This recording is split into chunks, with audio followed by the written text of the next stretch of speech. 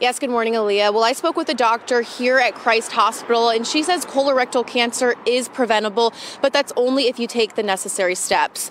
Dr. Janice Rafferty is the chief of colorectal surgery at Christ Hospital.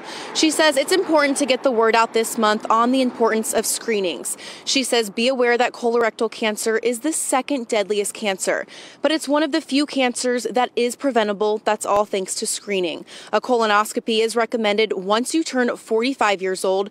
Dr. Rafferty says it's a pain free screening and can save your life. I would tell people who are hesitant, you know, a colonoscopy is far easier than going through treatment for colorectal cancer. Don't put it off. Get it done. Hey there, thanks so much for visiting the Local 12 YouTube channel. Click the links, hit subscribe to get notified anytime we post content to this channel.